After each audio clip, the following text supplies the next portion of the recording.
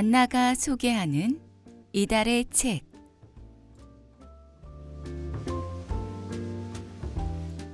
안녕하세요. 안나입니다. 안나가 소개하는 이달의 책 대화의 희열입니다. 우리는 살다 보면 보이지 않는 쳇바퀴 속에서 홀로 제자리 걸음하는 것 같은 기분이 들 때가 있습니다.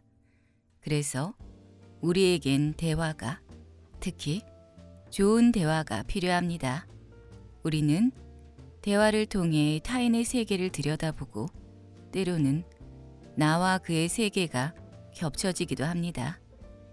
여행지에서 만난 모르는 사람과의 짧은 대화가 이상하리만큼 오랫동안 마음에 남을 때도 있는 것처럼 이 책은 우리 마음에 오랜 여운을 남길 명사와 나눈 대화를 담았습니다.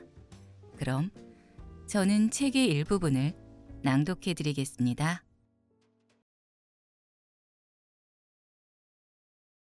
대화의 희열. 우리에게는 좋은 대화가 필요하다.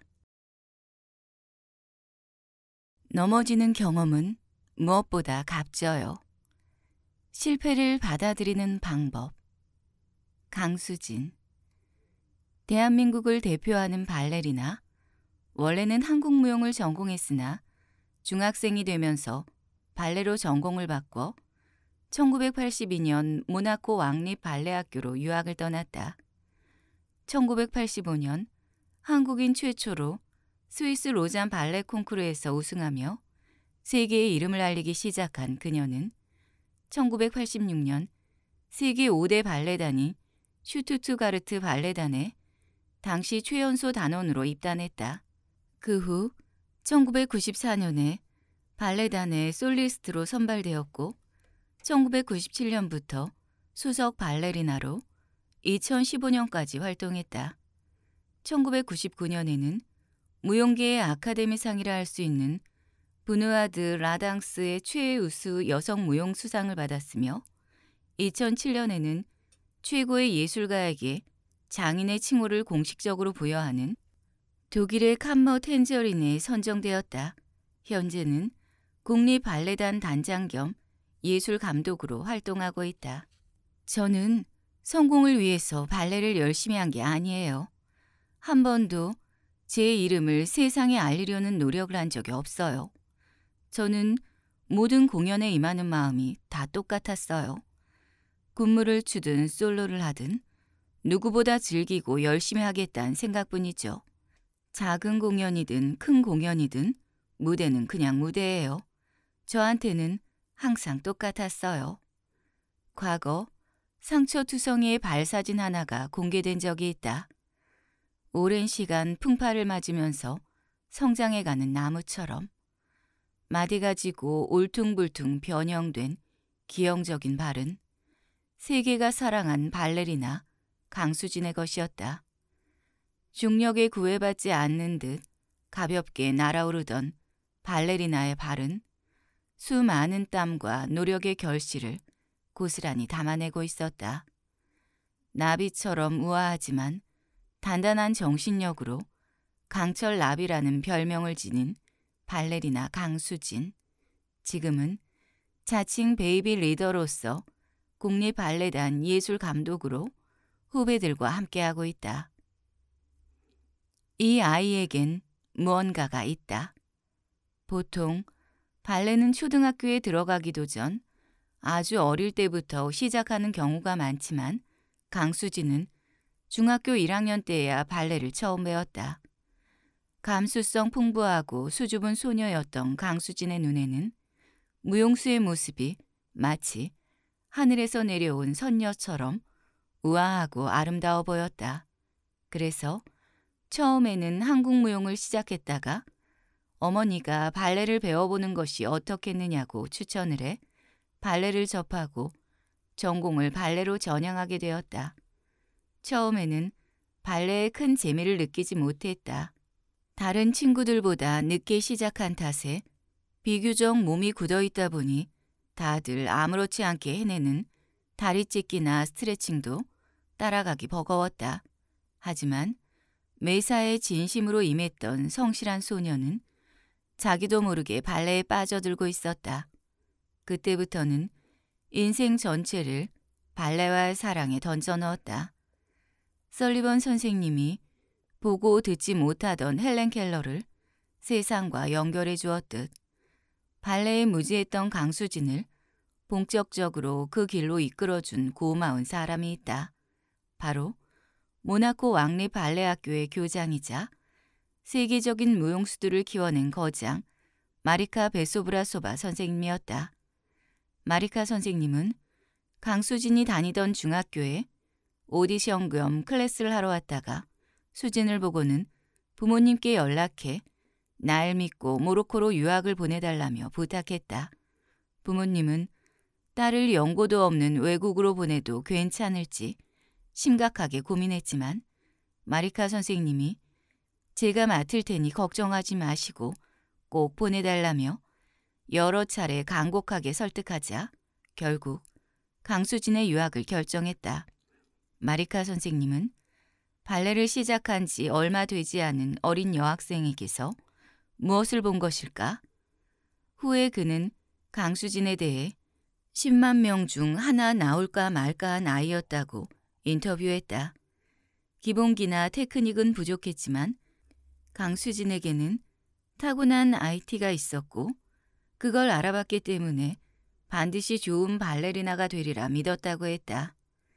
그렇게 강수진은 발레를 시작한 지 겨우 2년 만이었던 1981년 12월 15세에 모나코로 유학을 가게 됐다. 언어도 안 통하는 그곳에서 모든 게 힘겨울 수밖에 없었다. 강수진의 눈에 또래 친구들은 이미 날아다니는 것처럼 보였고 항상 맨 뒷줄에 서서 친구들의 등만 쳐다보며 수업을 들어야 했다. 하지만 그때도 마리카 선생님이 외로운 타국에 홀로 온 강수진을 따뜻하게 보듬어 주셨다. 마리카 선생님이랑도 처음엔 언어가 다 통하지 않는데도 제가 레슨을 받을 때 힘들어서 울면 다 받아주시고 토닥여 주셨어요. 그리고 제가 향수병이 너무 심해져서 힘들어하자 선생님이 저를 자기 집으로 데려가셨어요. 그런 게 너무 소중한 기억들이에요.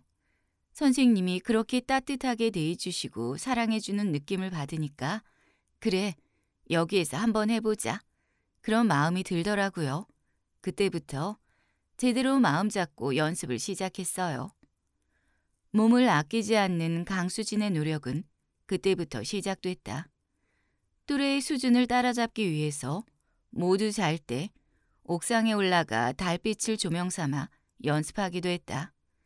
발의 감각이 없어질 정도로 혹독한 훈련을 한 탓에 어떨 땐 토슈즈를 신지 못했다. 한 번은 공연을 앞두고 엄지발톱이 살 속에서 골마 토슈즈에 발을 넣는 게 너무 고통스러웠다. 그걸 본 마리카 선생님이 토슈즈 안에 부드러운 안심고기를 사서 넣어보라고 알려주셨다. 당장 공연을 해야 하니 어쩔 수 없이 고기를 넣고 무대 위에 올랐는데 무사히 공연이 끝나고 나니 슈즈가 고기에서 나온 핏물로 물들어 있었다. 이렇듯 상상하기 어려운 노력과 고통이 있었지만 그래도 발레가 좋았다. 그 마음이 컸기에 현실적인 어려움을 견디고 이겨낼 수 있었다. 무명 시절을 겪으면서 마리카 선생님은 수진에게 발레뿐 아니라 그 이상의 많은 것을 알려주셨다. 마리카 선생님은 인간성이 발레를 만든다고 말하면서 발레는 스텝에서 나오는 것이 아니라고 강조했다. 발레는 기본적인 팀플레이다. 누군가 솔로로 안무를 추고 있어도 뒤에서 군무가 받쳐주지 않으면 온전한 무대가 완성되지 않는다. 모든 팀원의 호흡 하나하나가 모두 중요하고 서로를 존중하는 마음으로 무대에 서야 그만큼 유기적인 하나의 공연을 만들어낼 수 있다. 어린 수지는 말도 잘 통하지 않는 외국의 단체 생활에서 인간관계를 신경 쓰느라 위험을 달고 지낼 때가 많았다. 강수지는 자기 자신과 또 팀원들을 이해하고 싶어서 별자리 책까지 사서 인간 유형에 대해 알려고 노력했다.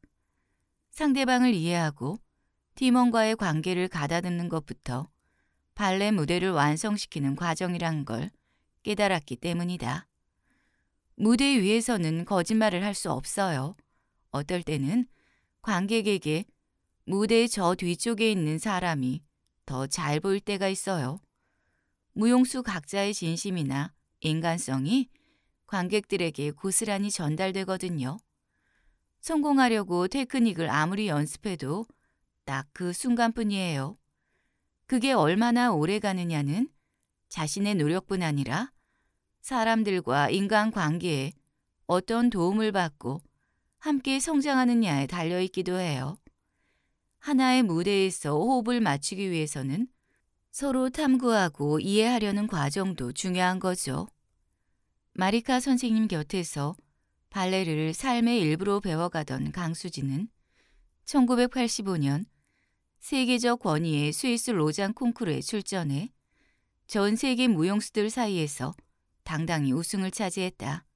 그리고 여러 곳에서 러브콜을 받았으나 독일의 명문 발레단인 슈투트가르트 발레단의 오디션을 보고 정식 입단하게 되었다.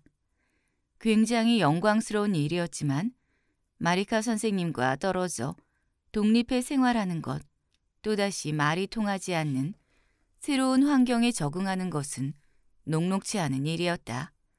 처음에는 또 새로운 인생이 시작된다는 희망에 차서 독일로 떠났지만 처음 보금자리로 삼았던 곳은 춥고 저렴한 지하방이었다.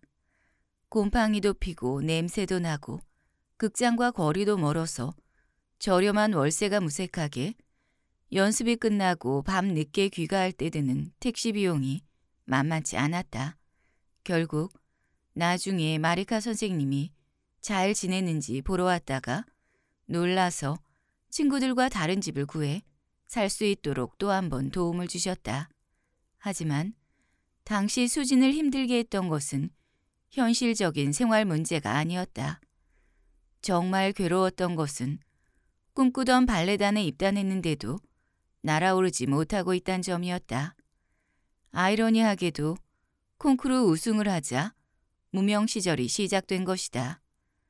발레단에 들어갔다고 바로 무대에 설 수 있는 게 아니었다. 예비 번호를 받아 연기할 순서를 기다려야 했는데 수지는 군무에 오르는 것만도 예비 다섯 번째였다. 네 명의 선배들이 모두 무대에 못 오르는 상황이 생기면 그제야 차례가 오는 것이었다. 슈투트 가르트 발레단이 워낙 명성이 자자한 곳이다 보니까 입단하는 것만으로도 세계 최고의 발레리나가 될 수 있을 거라고 생각했어요. 근데 정작 현실은 제 생각과 많이 달랐죠. 슈투트 가르트 발레단에는 저 말고도 뛰어난 실력을 가진 발레리나가 정말 많더라고요. 그래서 신이 발레리나의 경우 무대에 오르지 못하거나 오른다 해도 무대의 뒤에 서는 일이 비일비재해요. 무대 위에서 춤추고 싶은 꿈을 이루지 못한 채로 기약 없이 기다리는 약 2년간 슬럼프가 찾아왔다. 좌절감과 스트레스를 해소하려고 음식을 먹다 보니 살이 쪘고 연습을 소홀히 했다. 모든 시간이 버겁게 느껴져 자주 울기도 했다. 그런데 오지 않을 것 같았던 예비 다섯 번째 순서가 예기치 못하게 찾아왔다. 문제는 고대하던 무대에 오를 수 있는 기회가 생겼는데도 전혀 준비가 되어 있지 않다는 점이었다. 몸 관리도 안 되어 있고 연습도 충분하지 않았는데 하필 그때 무대 위에 올라가게 된 것이다. 결국 강수진에게 그날의 공연은 악몽과 같은 기억이 되었다. 근무에서도 혼자서 다른 팀원들과 반대 방향으로 움직이는 실수까지 했으니 해고 당하지 않은 게 다행이었다. 대기하는 후보여도 항상 공연팀과 같이 움직이면서 언제든지 완벽하게 그 사이로 들어갈 준비가 되어 있어야 해요. 그게 프로페셔널이거든요. 그런데 연습이 부족해서 혼자 코미디 발레를 하게 된 거죠.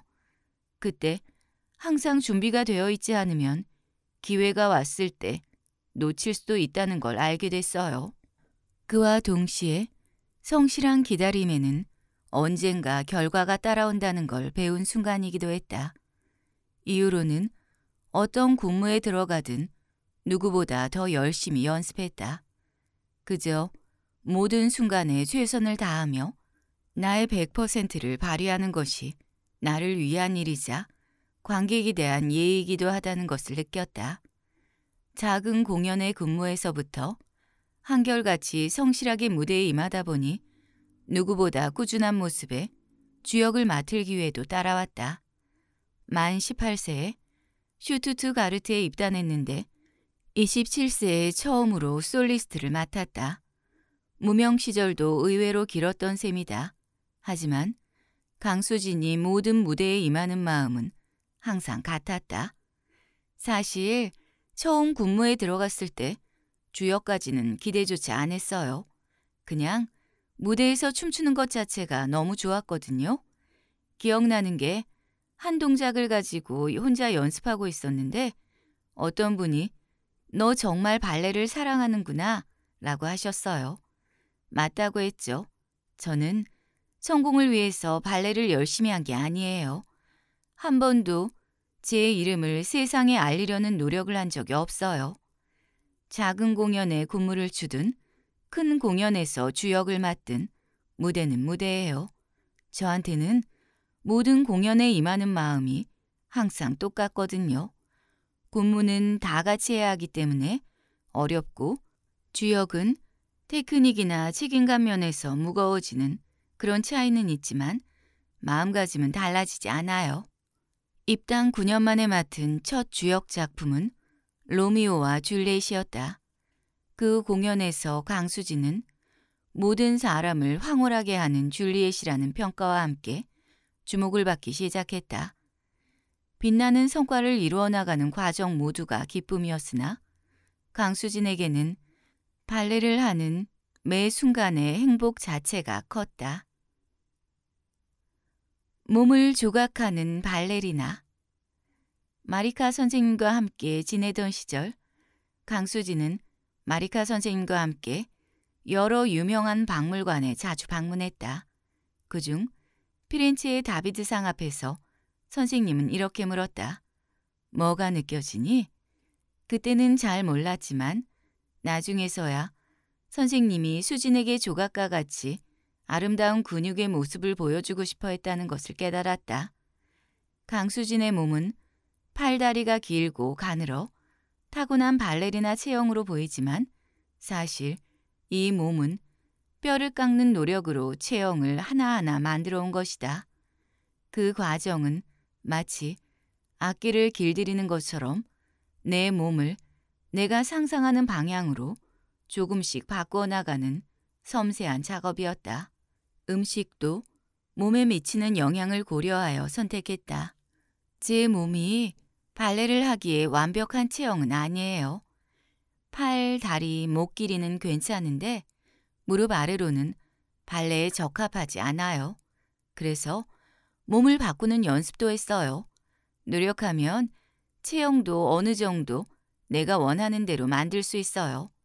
정확히 말하면 근육은 스스로 만드는 거죠. 식스팩을 만드는 것처럼 근육 하나하나를 조각하듯이 섬세하게 만들려고 정말 많이 노력했어요. 몸은 하루라도 쉬면 원래대로 돌아가려고 하기에 쉴 수가 없었다. 강수진의 하루는 매일 기계처럼 단조롭게 반복됐다. 새벽 5시쯤 일어나 커피 한 잔을 마시고 아침 연습에 들어갔다. 극장에 가기 전 2시간 동안 개인 연습을 하며 언제나 3천번의 점프를 뛰었다. 처음에는 1000번을 하기도 힘들었는데 반복하다 보니 3천번까지는 뛸 수 있게 되었다.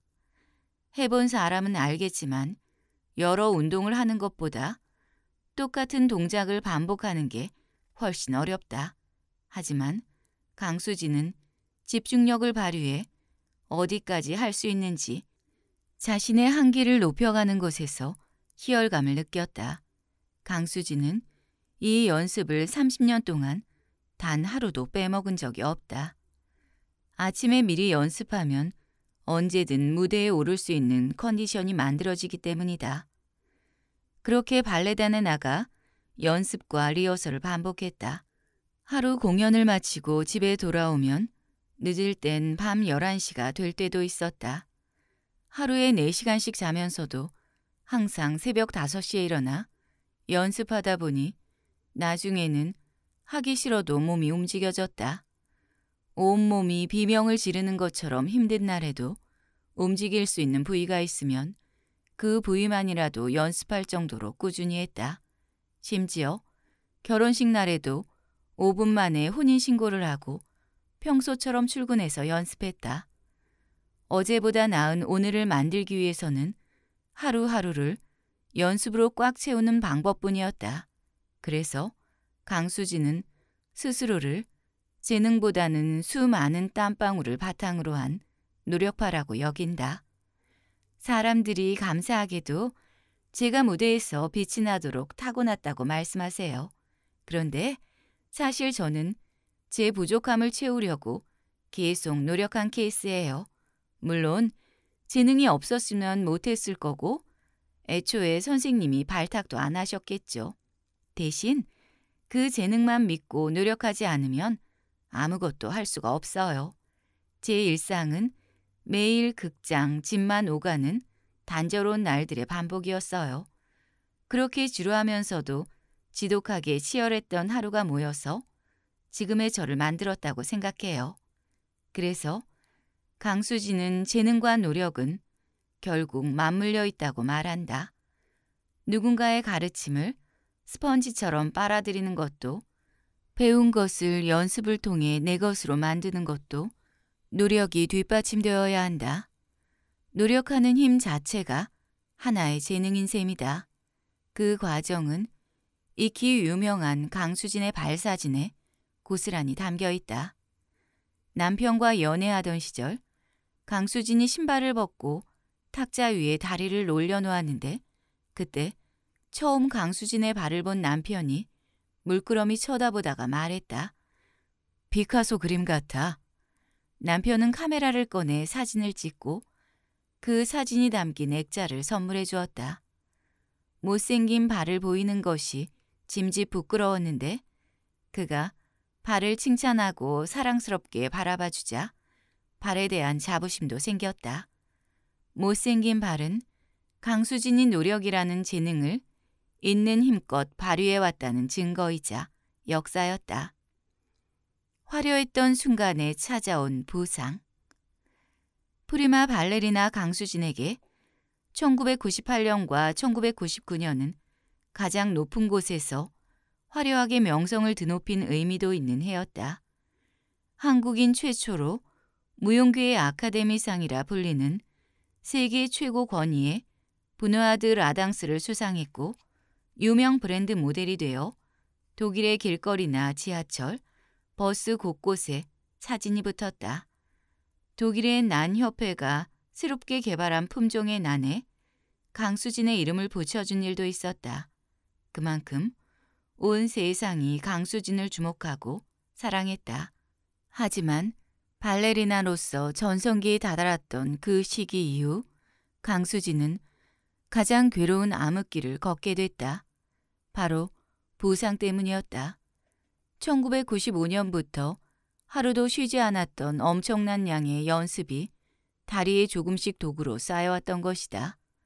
그때부터 이미 다리의 정강이 뼈가 갈라지고 있었지만 쉬지 않고 5년을 달렸고 1999년에 상을 탄 뒤에는 공연은커녕 걷거나 자지도 못할 정도로 다리의 통증이 심해졌다.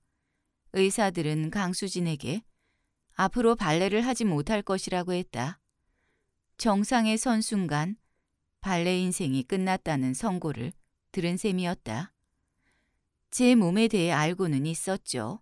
사실 진작에 쉬었어야 했는데 제가 그렇게 하지 않았어요. 하고 싶은 게 너무 많았거든요. 그렇게 브레이크 없이 쭉 나아가는 게 저에게 잘 맞았거든요. 제가 하고 싶어서 선택한 길이기에 후회는 하지 않지만 부상을 극복하는 건 정말 힘들었어요. 처음에는 다시 발레를 할 수 있을 거라는 희망을 갖기가 쉽지 않았다.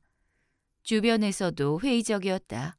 하지만 단 한 명, 유일하게 남편만이 곁에서 회복할 수 있을 거라고 용기를 줬다.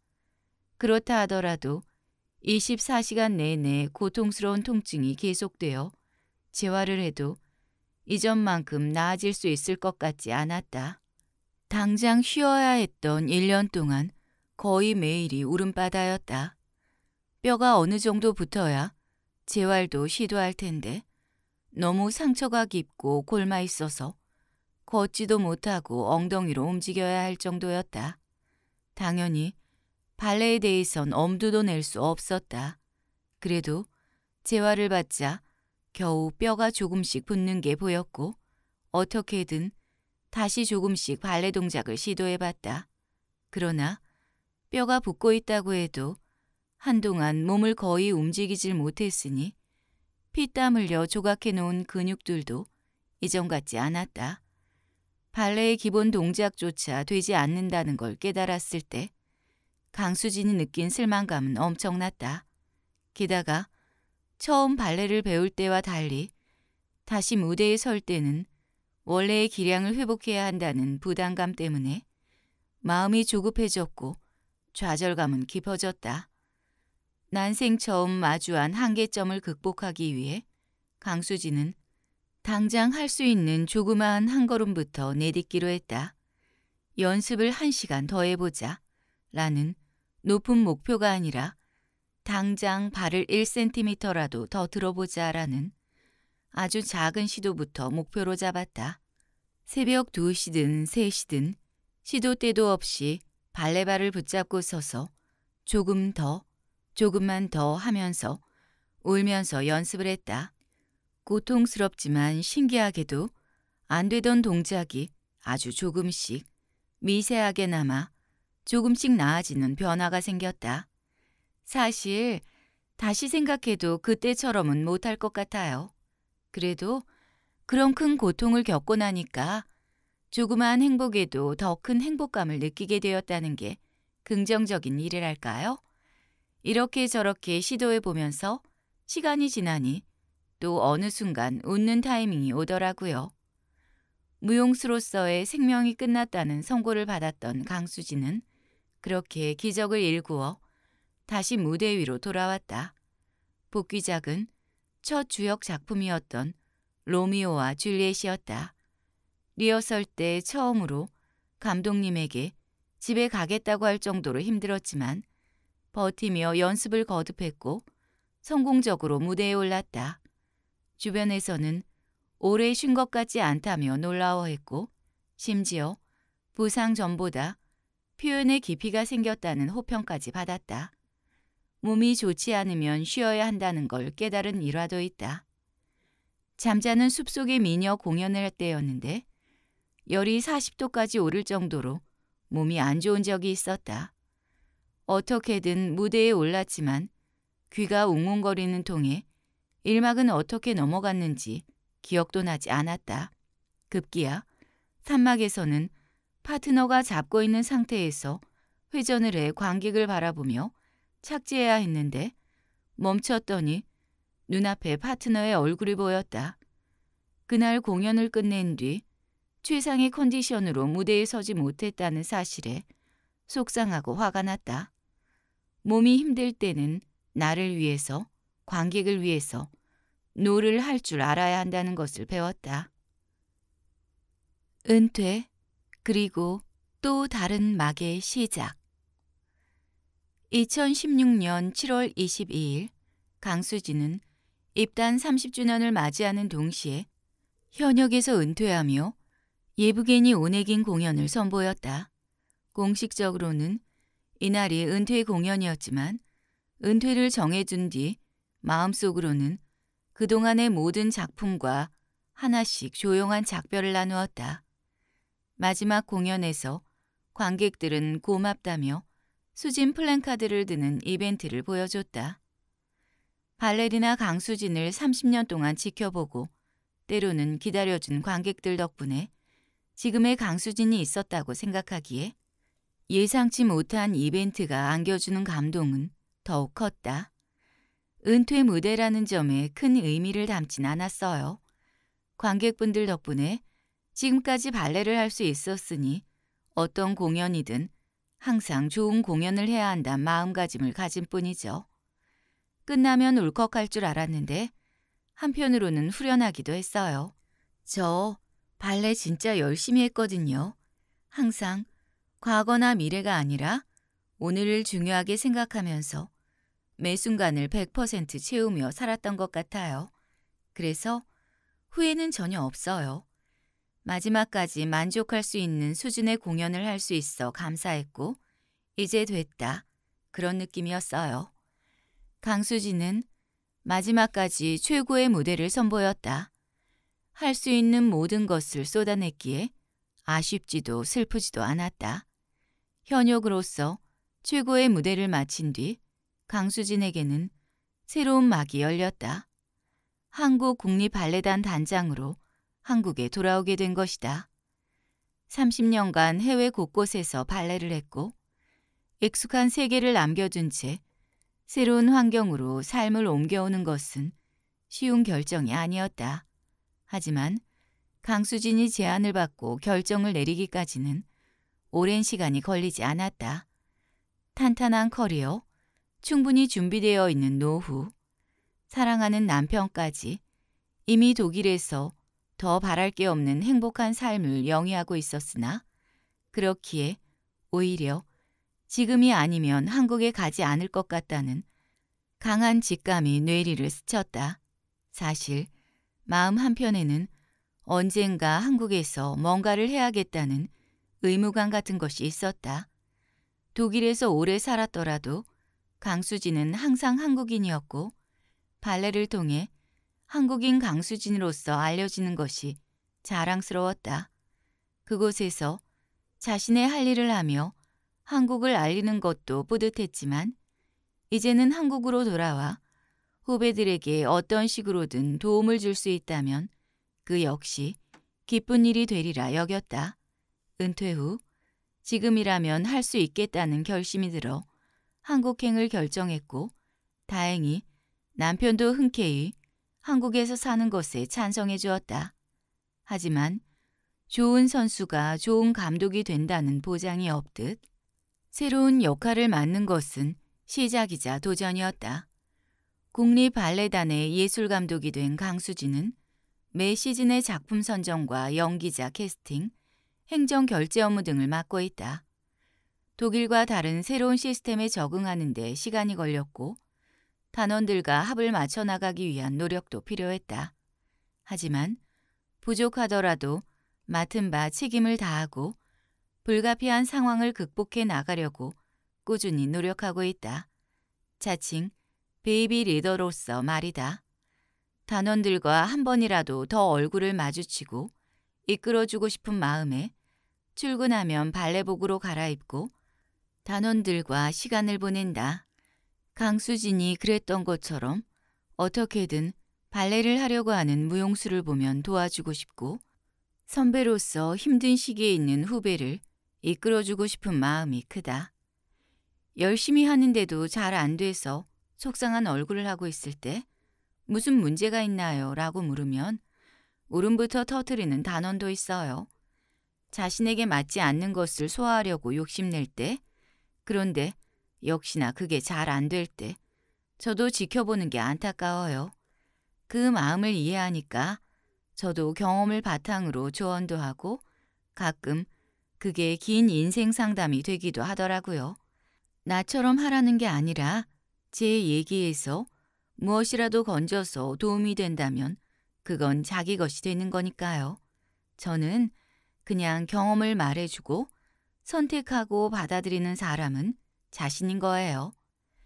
같은 목표를 향해 가더라도 모든 사람이 같은 길을 걷지는 않는다. 각자에게 맞는 방법으로 계단을 오르고 문을 넘어 나아갈 수 있도록 도와주는 것이 리더의 역할이 아닐까? 강수진이 생각하는 리더란 위에서 끌어올리는 사람이 아니라 맨 끝에서 지켜보고 기다리며 밀어 올려주는 사람이다. 그래서 강수진은 오늘도 단원들과 소통하려고 노력한다. 내가 발레를 하는 이유. 강수진의 성공적인 해외 진출은 개인의 성취를 넘어 우리나라의 후배 무용수들에게도 더 넓은 세계로의 가능성을 제시하고 길을 열어주는 상징적인 역할을 했다. 실제로 지금은 지금 한국 발레는 전 세계적으로 한국인 무용수가 없는 발레단이 없을 정도로 크게 성장했다. 프랑스 파리의 명문 무용단 파리 오페라 발레단에 박세은 발레리나가 입단해 동양인 최초로 주역을 맡았고 강수진이 몸담았던 독일 슈투트가르트 발레단에서도 강효정 발레리나가 활동하고 있다. 또 러시아 마린스키 발레단에 동양인 남성 최초로 김기민 발레리노가 입단해 동양인 남성 최초로 브누아 드 라 당스 최고 남성 무용수상을 타기도 했다. 덕분에 국내에서도 수준 높은 발레 공연을 관객들이 즐길 수 있게 되었고 그만큼 대중들에게 다소 멀게 느껴지던 예술이었던 발레가 조금은 가까워진 듯하다. 예전에는 희한하게 동양인에 대해 선입견이 있었죠. 그런데 지금은 많이 달라졌어요. 한국인들은 흥이 많다고 하잖아요. 그런데 예전엔 그걸 어떻게 표현할 줄 몰랐다면 지금은 좋은 선생님도 있고 많은 정보도 축적되면서 음악이나 작품을 통해 표현할 수 있는 방법을 무척 빨리 습득하거든요. 물론 그러면서도 개성을 잃지 않는 게 중요하지만요.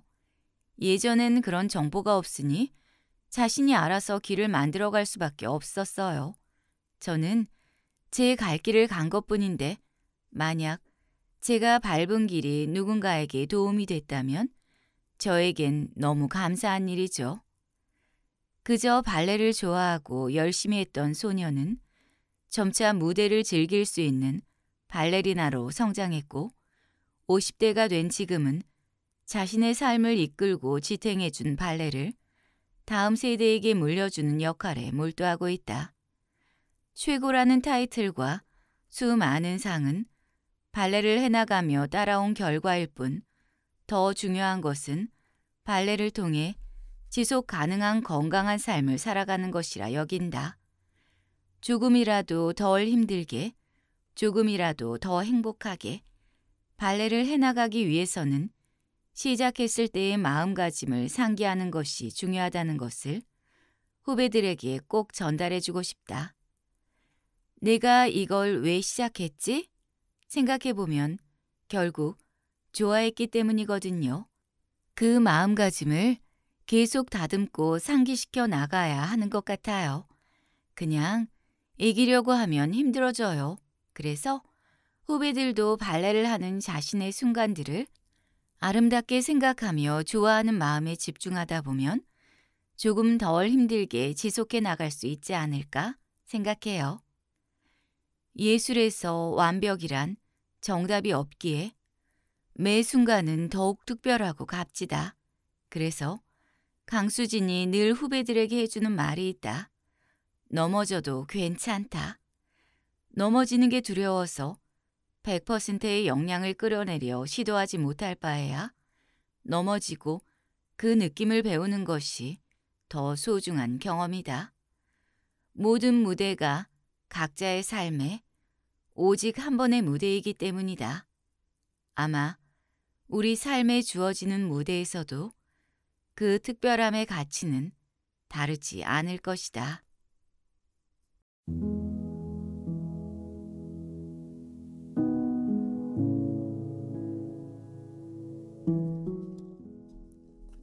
잘 들으셨나요? 그러시다면 구독과 좋아요, 알림 설정 부탁드립니다. 저는 책 읽어주는 안나였습니다. 감사합니다.